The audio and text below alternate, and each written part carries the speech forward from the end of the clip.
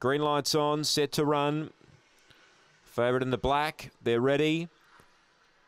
Racing, Spring Bonnie last away. There's good speed from Long Gully Roger. Spring Bonnie gets motoring now. She moves to second. The inside Emily Sharon. Two and a half to Emily Phantom. Then late missile. Escape in is last. Off the back, it's Long Gully Roger by two. Spring Bonnie not done with. She's coming again. Long Gully Roger, Spring Bonnie, Long Gully Roger.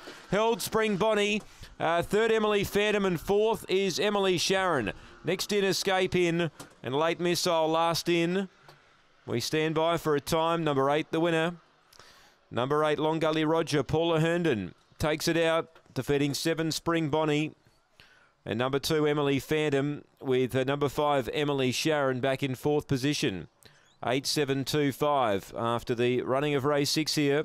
And the time is 1969. It's a good run. New PB for the winner. Margin three quarters of a length by two. That's after race number six here at Angle Park.